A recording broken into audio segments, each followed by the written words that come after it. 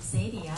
Today I would like to present the proposal of my thesis and the, the topic of my presentation is a study on students' perceptions of motivation, satisfaction, and anxiety of learning college tourism English and the needs analysis of English for hotel tourism.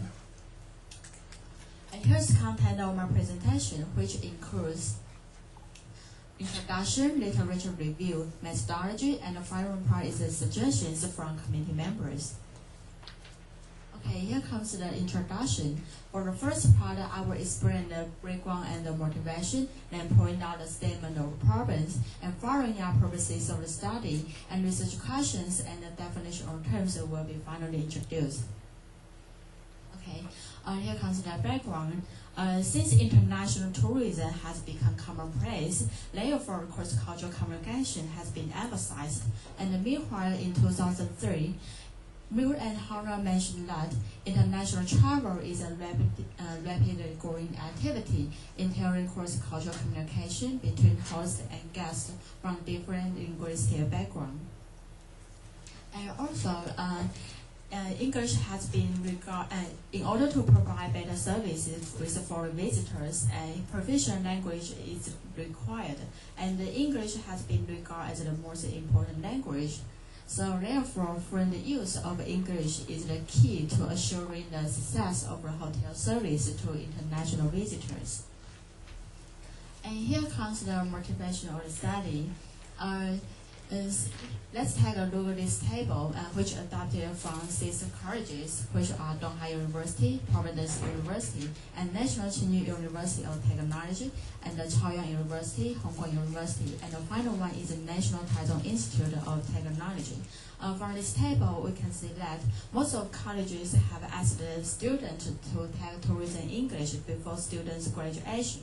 Uh, however, uh, we can see um, there is an exception for Chaoyang University and the National Taichung Institute of Technology because courses there are optional. And moreover, students take six to eight credit hours of general English. So we can see that um, students have been trained their tourism English at colleges. However, there is a doubt that they do not perform well as expected. So it seems there is a gap between English needs of hotel industry and the English training of college students. So uh, the researcher would like to investigate whether college students' English skills are prepared to meet the industrial needs and are well prepared for their future jobs and the second purpose is, to investigate whether industrial employers are satisfied with college students' English competence and knowledge to tourism. And based on the purposes, there are four research questions regarding study. The first, what's the required competence, uh, English competence and knowledge to serve hotel tourism? And how do college students perceive their tourism English learning? And the next one, how do college students perceive their satisfaction with tourism English learned from their programs? And what factors motivate college students to learn tourism English?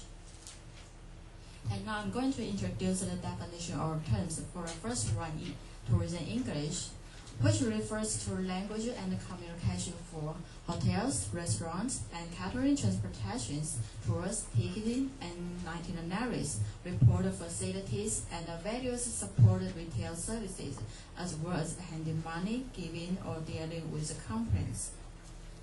And for ESP, according to Dr. Evans in 1997, ESP may be related to or designed for specific dis disciplines and ESP may use in specific teaching situations a different methodology from that of general English. And for next one, foreign language anxiety. Language anxiety is a fear or apprehension that occurs when a learner is expected to use the second language. And here's the outline of literature review, which includes these sessions First, importance of tourism English in Taiwan, then uh, acquire English competence for future job. And uh, the benefit of internship program at colleges we also reviewed. And then following our satisfaction with the environment support and the learning motivation in tourism English. And the final part is about the EFL anxiety.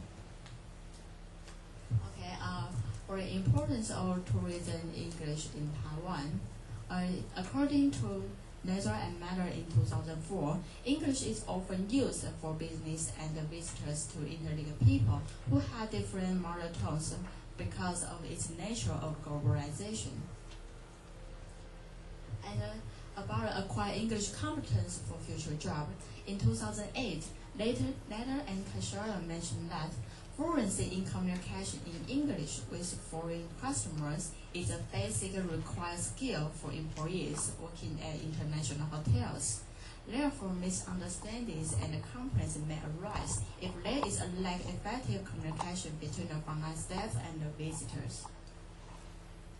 And about essential training in internship programs at colleges, uh, in recent years, students of tourism department are given opportunity to have an internship at hotels or restaurants. So what's the benefit about it? According to uh, Leather and Matter, uh, Leather and in 2004, having good working relationship with the local industry that will be beneficial to the students to be greatly competitive for the local workforce. And about the satisfaction with the environment support, uh, based on the literature review, there are two components of learning environment that are often absent in the learning context in Taiwan. The first one is about authentic interaction. And in 2002, Penny and Whitley stressed that authentic interaction with native speakers is unavailable for most of Taiwanese students. And second, a learning environment which will benefit student learning is needed and about learning motivation in tourism in English. And in order to meet the employer's expectation of a proficient language skill, therefore students stand a better chance of securing a good job at hotels if they are fluent use in tourism English. And also, uh, Tourism English proficiency is a basic requirement at workplace because tourism industry often high demands on language skill, which mentioned by Leisure and Leisure and Kashuran. And for most of Taiwanese students, foreign language anxiety is one of the problems of their English learning. And uh, communication uh, apprehension is one of the elements of foreign language anxiety. And in 2000, Cummins mentioned that Communication apprehension can increase the chance of a certain situation related to foreign language learning, and it may reduce individuals' level of self-efficacy in succeeding for learning languages. And uh, from Pepper Mills research, it was found that students anticipated some interactional anxiety when some students use English better than they did, and uh, teachers spoke well. And now I'm going to introduce the methodology. The first, I will explain the framework of research design and who are the participants of the study and what kind of instrument will be provided for this study. Later, I will explain the procedure and the method of data analysis. Uh, this study is aimed to explore students' perception about the tourism English learning at colleges. So a survey research will